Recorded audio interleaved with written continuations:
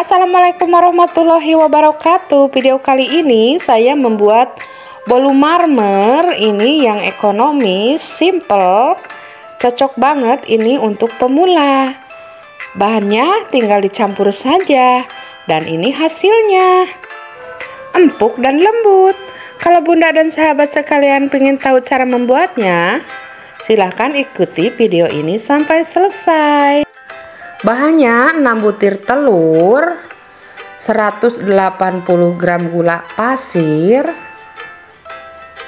2 sendok teh SP, bisa juga ini menggunakan TBM, 1 sendok teh pasta vanila, bisa e, diganti dengan vanili bubuk, 200 gram tepung terigu, 27 gram susu bubuk yang setara dengan uh, satu saset uh, susu bubuk. Nah, diayak supaya tidak bergerindil. Nah, ini bedanya Bunda dengan bolu-bolu lainnya yang biasa dibikin.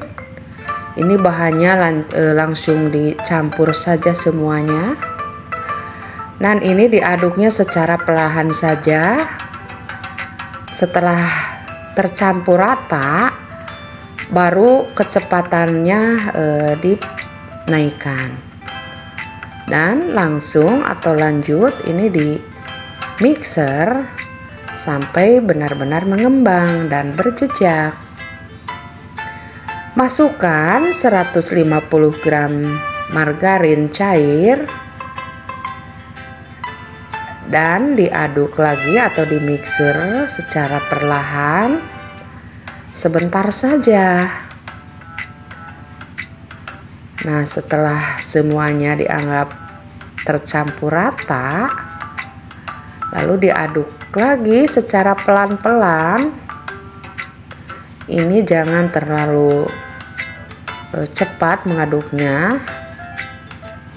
Pelan-pelan saja. Nah lanjut dibagi dua. Adonannya dibagi dua dan maksudnya ini akan ditambah eh, yang satunya lagi ditambah dengan eh, pasta coklat. Bunda dan sahabat sekalian Nah ini pasta coklatnya dimasukkan Diaduk lagi ini pelan-pelan saja sampai tercampur dengan rata Bunda dan sahabat sekalian, terima kasih yang sudah subscribe. Dan yang belum subscribe, silahkan di subscribe dan aktifkan lonceng notifikasinya. Supaya Bunda dan sahabat sekalian mendapat notifikasi video-video terbaru dari saya. Nah ini tuangkan ke dalam loyang yang sudah di olesi dengan mentega dan ditaburi uh, sedikit ini uh, tepung. Nah ini dimasukkan dengan selang-seling. Yang pertama tadi warna uh, adonan putih yang keduanya coklat dan lanjut ini sampai selesai.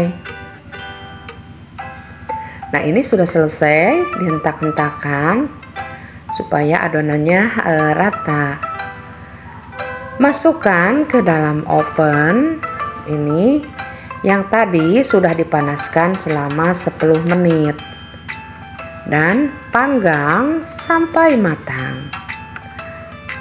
Nah, ini sudah matang dan hasilnya bolunya cantik, empuk dan lembut.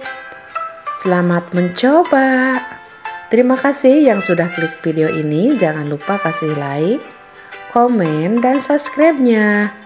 Sampai jumpa di video yang lainnya.